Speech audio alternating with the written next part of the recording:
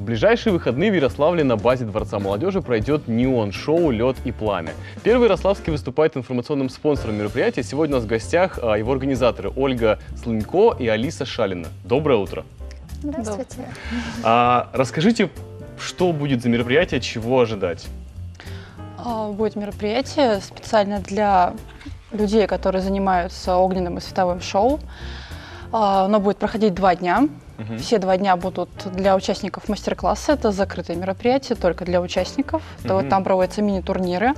И потом в конце, в воскресенье, в 6 часов, будет э, концерт, на который будут- могут прийти уже все желающие и посмотреть лучшие номера и от лучших участников, которые к нам приехали. Вы просили представить как неон-шоу, потому что на своем мероприятии будет неон использоваться. Но я так полагаю, что вы работаете и с огнем настоящим в том числе. Работаем, но не в помещениях. Только на открытых пространствах. Да, огонь только на открытом пространстве, ибо ну, не хотим мы стать поджигателями. только чтобы поджечь эмоции. А расскажите, что вы используете, какие вы используете, не знаю, приспособления? Вижу, вот позади вас что-то лежит интересное. Да, реквизит на самом деле очень много разного. Это, например, double staff, то есть две палки, их можно по-всякому по-разному крутить. Есть также э, став, это большая палка, которую Мгм. также можно крутить, вращать, подкидывать по себе, катать. Вот. Есть, например, э, шары для контактного и классического жонглирования. Вот Алиса вот может такой, да? Вот А с ним что с ним делают? А, ну, Колдуют с ним. Есть у нас обычное жонглирование, когда мы подкидываем мячики в воздух, а есть контактное, когда мы катаем по себе. Мгм. А по нему можно гадать? Он похож на гадальный шар очень. Ну, я думаю, можно, да. А, На самом деле тут ничего сложного нет, это просто ловкость рук идет. Никакого мошенничества. Никакого мошенничества абсолютно. То есть вы как организатор являетесь также еще и участниками или профессионалами, вы будете вести мастер-классы, ваше участие в чем? То есть я полагаю, вы тоже все это умеете делать. Конечно, умеем. Вот профессионалы не профессионалы, потому что дипломы никто не выдает э, фаерщикам и специалистам в неоновом шоу.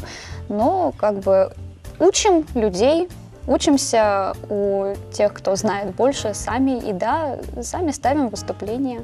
А как давно вы занимаетесь этим? Ну, я, наверное, в коллективе сторожил. Я Мгм. этим занимаюсь уже 6 лет. Вот. А, Оля?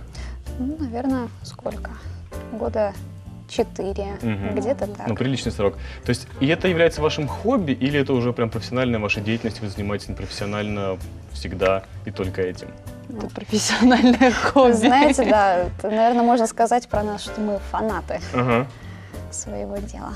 Вот а, работая с огнем, да, как это, это вообще безопасно, потому что вы вот он вблизи вас непосредственно, как вам самим не страшно с ним работать? Для вас это точно опасно. А для нас со стажем 4 года и 6 лет, вот это, ну, как сказать, риск есть, конечно, но он минимален. Мы соблюдаем э, технику безопасности. Хорошо. Такой вопрос. А, название лед и пламя. Ну, пламя, понятно, откуда оно взялось, да, почему лед? Ну, название придумала Валентина Шарапова. То есть она была первым организатором, она была, а, скажем так, родоначальником нашего объединения. И когда мы думали над названием, думали, что нужно что-то простое. Зачем каких-то помпезные названия? Долго думали, думали, а потом пришло в голову лед и пламя. То есть лед это свет, который используется в наших выступлениях, а пламя это то, что внутри нас. О, как классно. А такой вопрос, скажем, вот люди сейчас смотрят, да, кому-то вот чувствует, я хочу, я хочу вращать огонь, я хочу вращать неон. Он может прийти на закрытое мероприятие это, или это не для новичков, а уже для тех, кто занимается хоть какое-то время? Ну, у нас есть мастер-классы как и для профи, те, кто уже достаточно давно занимаются, и так для тех, кто новенький в этом деле.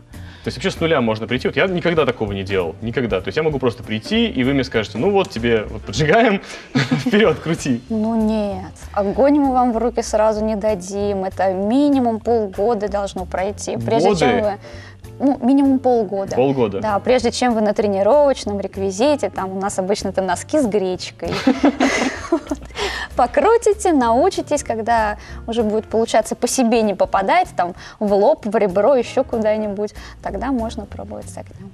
Ну а Ну, со светом, конечно, можно всем работать Классно, сразу. потрясающе. Жаль, что вы не крутите в помещении огонь, потому что хотелось бы увидеть огонь. Но сегодня вы нам покажете, как можно крутить неон как профессионалы. Я верно говорю? Покажете? Да. Хорошо, тогда смотрим.